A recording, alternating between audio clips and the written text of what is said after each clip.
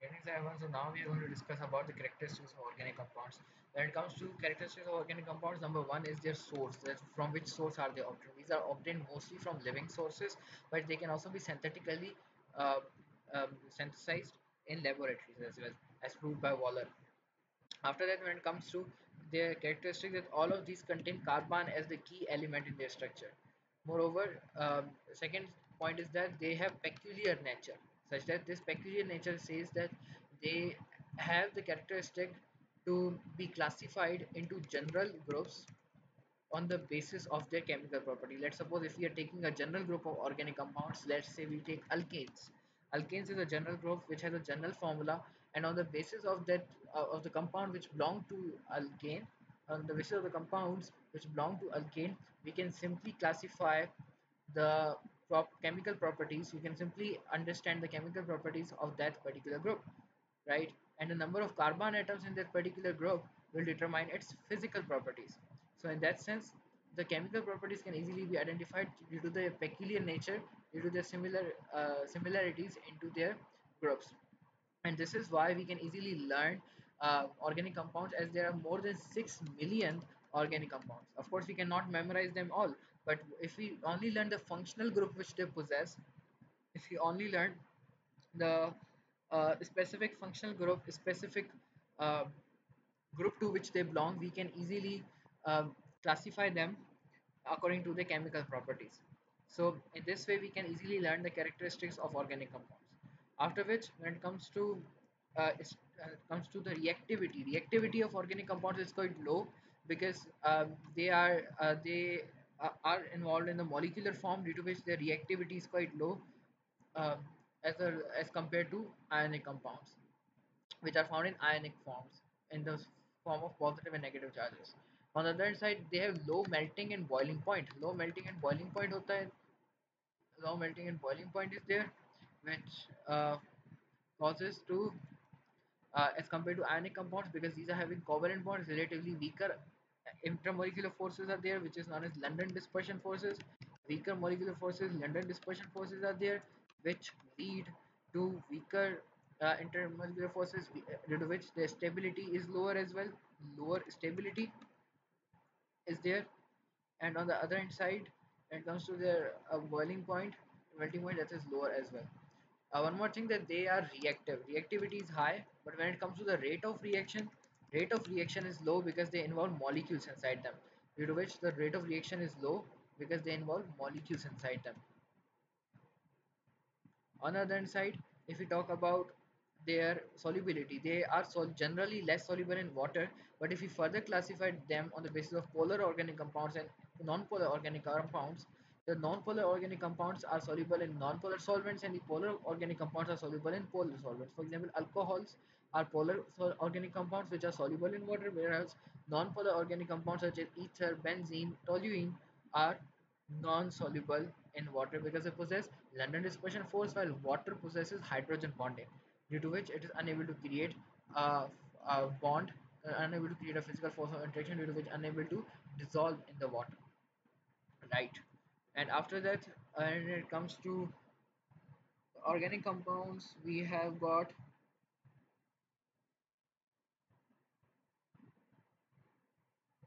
organic compounds are uh, generally found in the form of soft solids or gases or liquids uh, either in the form of soft solid or gases or liquids.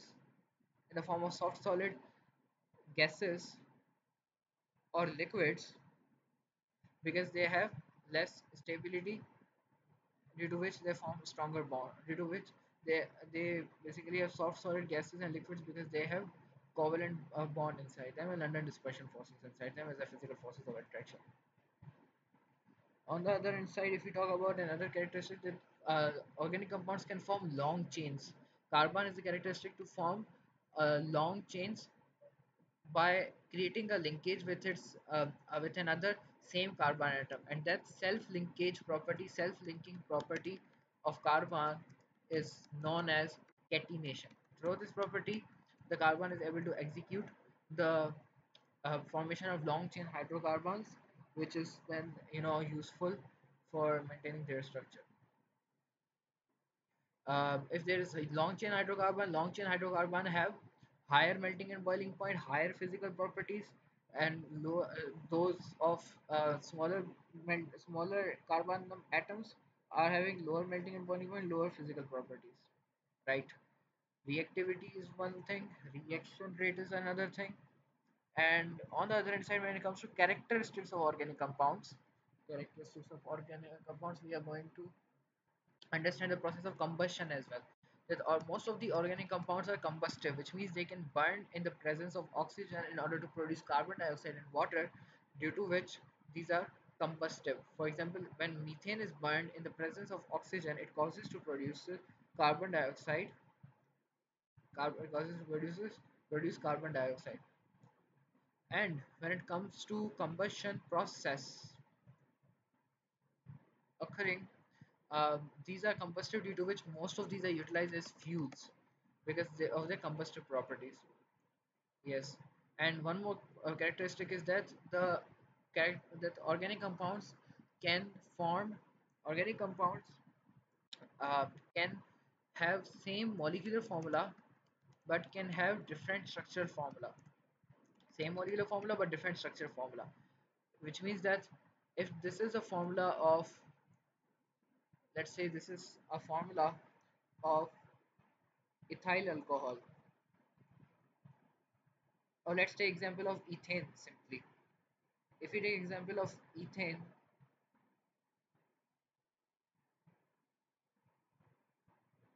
if we take example of ethane right?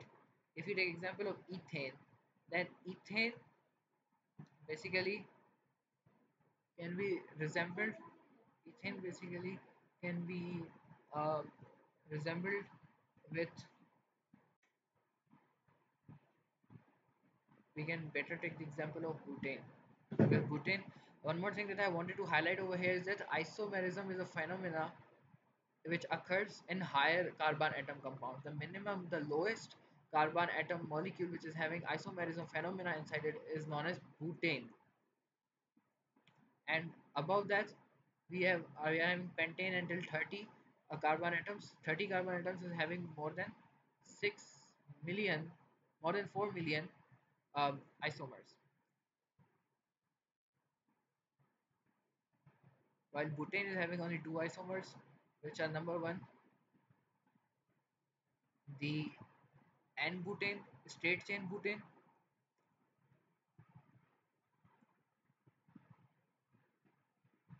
this is the straight chain butane and second one is the isobutane which is a branched chain butane branched chain butane this is the branched chain butane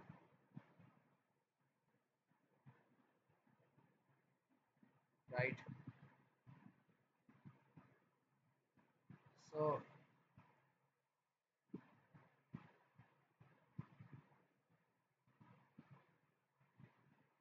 this is the branched chain butane structure which is known as isobutane right?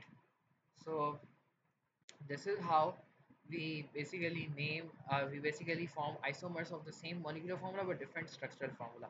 So these are certain characteristics about the organic compound hopefully you enjoyed the video we'll uh, further discuss about the types of isomers in the next video